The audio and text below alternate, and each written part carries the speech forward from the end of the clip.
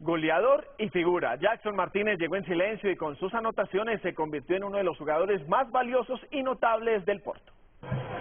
La tarea era difícil, hacer olvidar a Falcao García, ídolo del equipo, y el delantero chocoano hizo bien su labor. En toda la época no me fijé en cuántos goles hizo Falcao, en cuánto pudo haber hecho, en superarlo. Simplemente en, jugar en, equipo. Eh, las metas personales siempre para mí quedan en un segundo plano de la Pantera, golazo. El registro goleador es asombroso. El jugador de la selección Colombia marcó 26 goles en 30 encuentros. Tengo la fortuna de, poder llegar a un equipo que piensa en conjunto y eso me, me da la oportunidad de estar mucho más tranquilo y adaptarme más fácil al fútbol. Su presente es el Porto, aunque los grandes de Europa ya tienen su nombre en la carpeta. La verdad ahora estoy pensando en, disfrutar este triunfo eh, con mi familia, eh, glorificar a, Dios por, por este sueño que me, que me acaba de cumplir en mi primera época acá en Portugal.